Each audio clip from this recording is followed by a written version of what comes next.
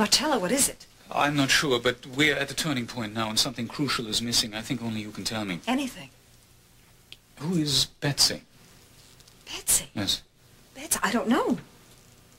Well, I think I may. Um, uh, please, uh, just talk to me. Tell me, tell me anything you can about your relationship with Kelly when she was a child. Anything. All right. Uh, let me think. Kelly, um, Kelly was my baby. Hmm. She was my little girl.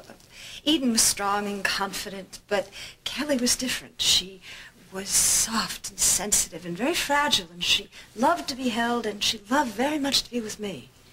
Was Kelly jealous of the way you were with Eden? No, no, I don't think so. But I took special time and care with Kelly. I always tried to make sure that she and I were together. We'd have little outings, just the two of us. So, such as what? What? Oh, uh, we go to movies. Um, we'd go to the park. We. She loved to touch things, to to hold things. So I'd take her to a farm where she could touch and hold and pet the animals. And oh, and the zoo. The zoo was one of her favorite places. Marcella, we were supposed to go to the zoo the day. The day of the accident on the boat. That's right. And all of a sudden, she refused to go. Why? I don't know.